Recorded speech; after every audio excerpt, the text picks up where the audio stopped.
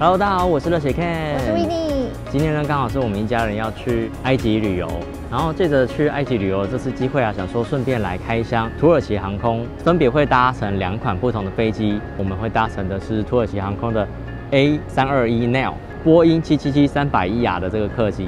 那今天呢，我们就是要来开箱这两款飞机，在飞机上会享用两餐的飞机餐，然后我们也会去介绍一下我们经济舱的餐点。然后值得一提的是。A 三二一 neo 这段两个小时的航班啊，从伊斯坦堡飞埃及的开罗。如果运气不错，去程金字塔够大尊，我应该可以从飞机上拍到埃及的金字塔空拍。因为埃及基本上是不让你玩空拍机的，那边这样子很危险。我们唯一的方式，我就想到说，有没有机会在飞机上看到吉萨金字塔群呢？应该是坐在右边靠窗，有机会拍到开罗。好期待哦，可以拍金字塔。有机会啦，我们试试看。我刚刚说那一台飞机客机是跟新宇航空是同一台，那这样是不是感觉就有搭上新宇航空的感觉？对，我们是还没有坐过新宇航空啦，呃，算是疫情后第一次出国，然后能够搭到跟新宇航空一样新的飞机，然后又是同款的，不知道说跟新宇航空一样，它里面的座位布局会长什么样子呢？期待，很期待，很期待。那我们准备去拿机票，然后登机，耶耶。完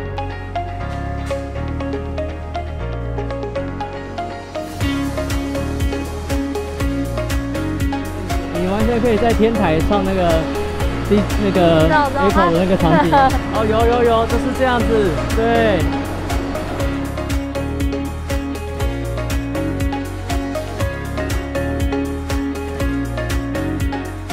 那我们首先从台湾桃园机场出发，那飞往土耳其伊斯坦堡的是波音七七七三百 ER 的大型客机，这个客机呀是二零零四年公开发售的。土耳其航空在二零一一年购入，已经是至少十二年的老飞机了。那我们先来看机舱设施，配备古早味十足的遥控，但荧幕有升级为触控荧幕。影音多媒体的内容很丰富，右上角可以看到剩余飞行时间，方便你掌握有多少时间可以放松，不用担心要收东西。电影的部分有一定的深度，可以当 Disney Plus 看，特别是有很多无歌词情境音乐，可以在睡觉的时候听，减少引擎噪音的干扰。USB 充电的位置有点松，但都能够帮你的手机维持满电直到落地。小挂钩的部分呢，我们使用低循环挂耳机和干洗手，建议大家可以发挥创意布置一下。耳机音质普通，但也不能插自己的耳机。如果想要好好享受音乐呢，建议用自己的手机和耳机。头部有靠枕支撑，所以颈枕可戴可不戴。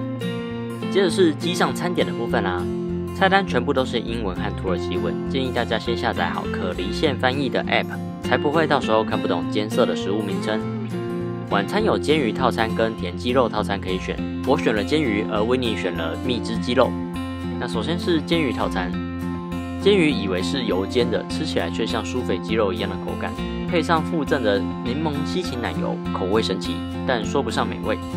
烤马铃薯也不像一般的马铃薯，而是吸满橄榄油的马铃薯泥。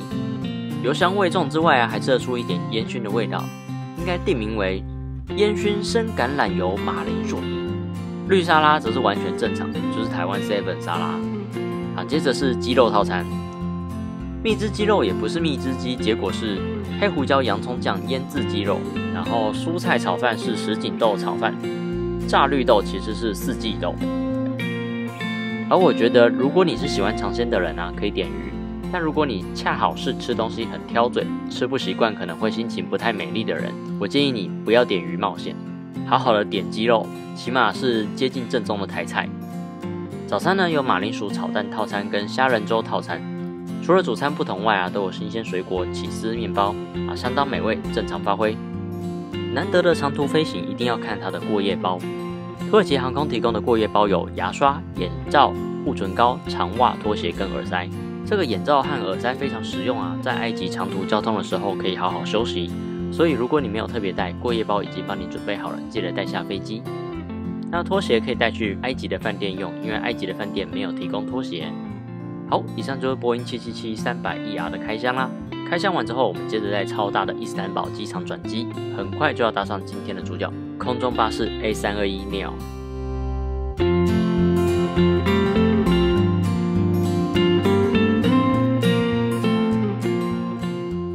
A321neo 是一款很新很新的飞机，从2018年首飞以来啊，陆陆续续在很多航空公司服役，是一款小型客机。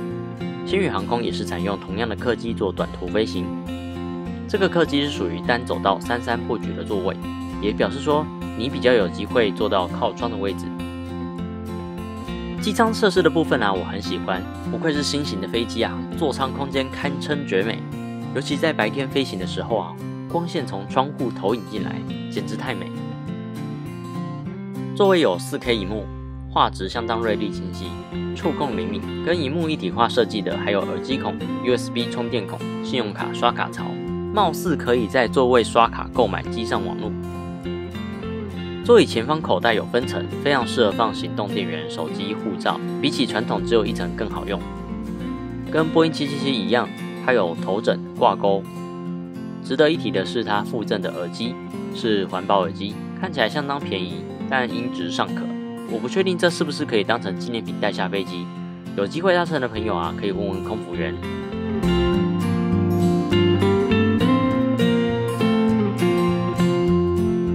本来以为两个小时的短途航程没有副餐啊，结果土航居然有附一顿早餐，也跟大家介绍一下。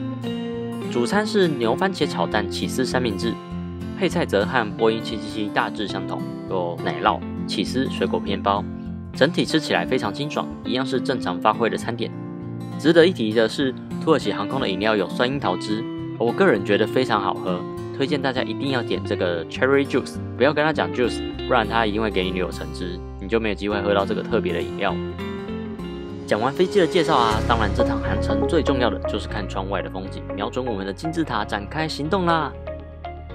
从伊斯坦堡起飞不久，还在土耳其境内的时候啊，你有机会看到当地的超级景点棉花堡，记得随手拍下难得的空拍画面，骗朋友说自己是搭土耳其热气球拍的。在抵达开罗上空，我们很幸运的在机场周围盘旋，等待降落时机，绕了整整三百六十度，相机紧紧贴着窗户，心里很紧张，哪怕错过一个角度没拍到金字塔，一定会含恨。结果我们这样子。对着窗户一直拍，一直拍，一直拍，已经都飞机盘旋绕了三百六十度了。我觉得我们应该有某个角度可以对到拍金字塔的画面，可是空气实在是太浑浊了，可能是因为沙漠的沙尘啊，能见度极差，最后我们没有拍到金字塔，我觉得蛮可惜的。那如果你有机会来，而刚好埃及开罗没有沙尘，视野清晰，或许你还是有机会幸运拍到金字塔空拍。那就看你的这个摄影设备能不能就是长镜头的去拍一下，然后我们的镜头变焦没有办法变那么远，加上空气比较浑浊，实在是没有办法。